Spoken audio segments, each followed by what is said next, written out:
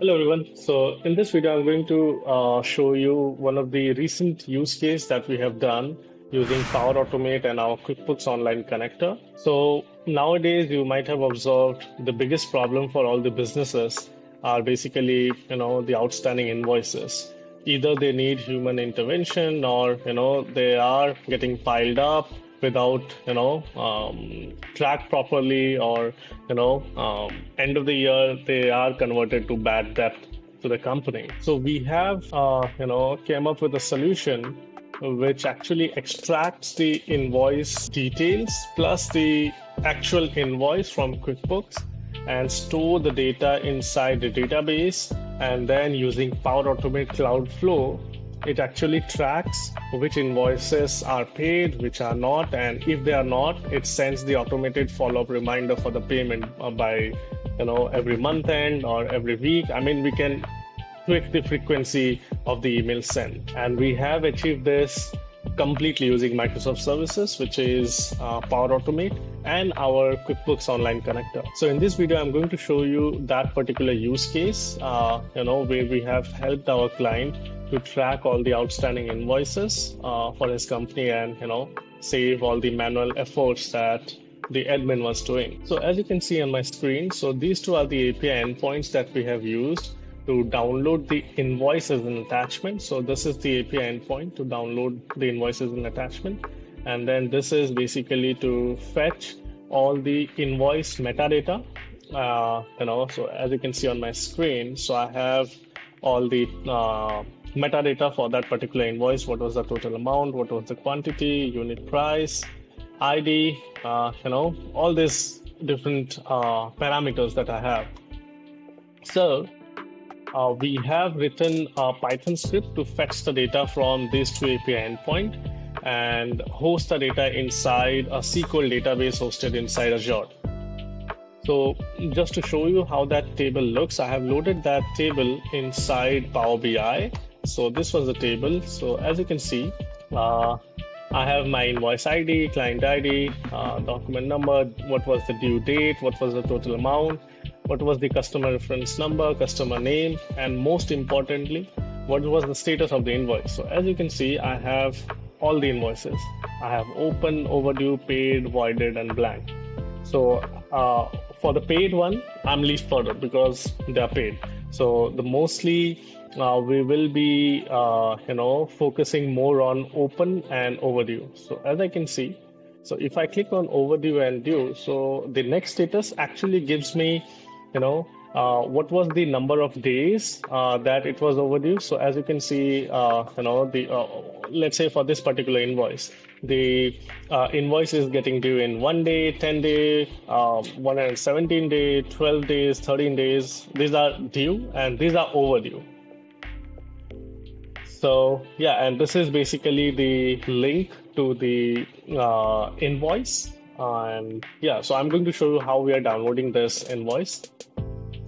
So uh, the script runs every morning. So it looks for, you know, if there are any new invoice that was created or, or if there are you know changes to the existing invoices. So the script takes care of everything. So if it is a new invoice it just updates that particular new line item in the table.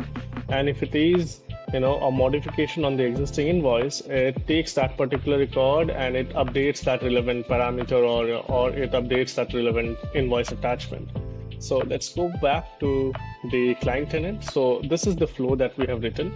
Uh, so th- what this flow does is basically to uh, pull the data from uh, the Azure SQL database and put it into the SharePoint uh, list because you know uh, SharePoint list is used as you know the uh, the uh, common channel for everyone because you know everyone doesn't have access to the SQL database. So we have used this and we have created the list over here as you can see and the flow runs two times uh, once in the morning, once in the evening. And this is basically whenever a new line item is created, it takes the data and put that into this SharePoint list as you can see over here. And coming to the next flow, which runs when the invoice is modified. So, uh, you know, yeah, so as you can see, both uh, runs are successful. So whenever an invoice is modified, it goes to that SharePoint list. It takes that particular ID and it updates that particular uh, detail of that particular invoice line item. And in order to see uh, that particular invoice, you just have to click on over here. Okay, let me sign in. So if you click on the attachment, you should be able to see that particular invoice. You see? So we are loading only the outstanding invoices over here. And so let's say, you know, in an organization, there are a lot of users, you know, 50 plus users in a big, uh, in a big organization or medium organization.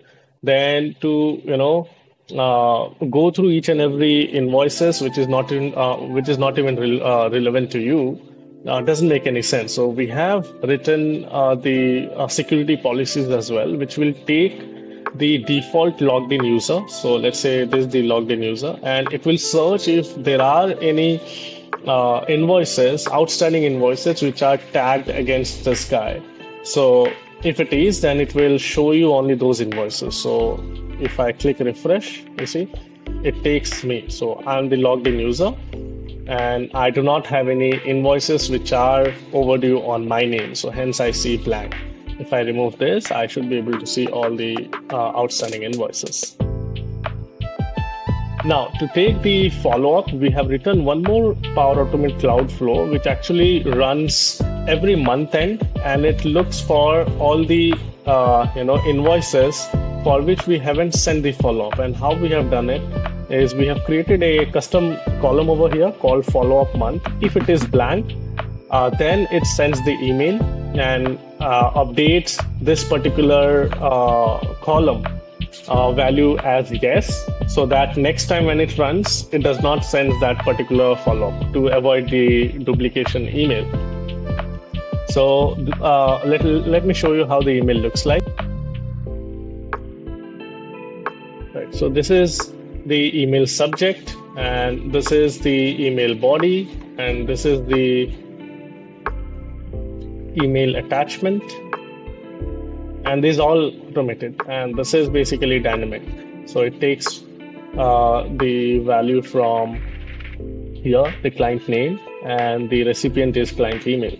So yeah i hope uh, you know you like this completely automated solution that we have made for invoice tracker.